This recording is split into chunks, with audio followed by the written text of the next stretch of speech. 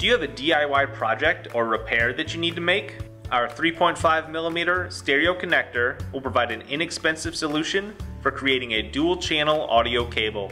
A stereo connector can be identified by the two black plastic bands near the tip of the cable. 3.5mm refers to the diameter of the plug.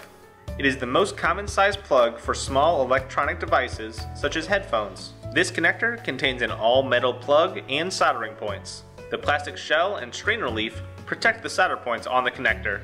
To install the connector, you will need a soldering iron, solder, a wire stripper, and the cable. Since this is a stereo connector, our cable will need two conductors and a shield. Unscrew the strain relief and slide it onto the audio cable. Using a cable stripper, strip back the cable jacket. Then, twist the shield together. Cut off any additional filler material. Strip the jacket around the center conductors. Tin the conductors and shield by adding solder to the ends of each wire. Tinning helps make a more lasting and professional bond. Take the connector and with a vise or helping hands, tin the solder points on the connector.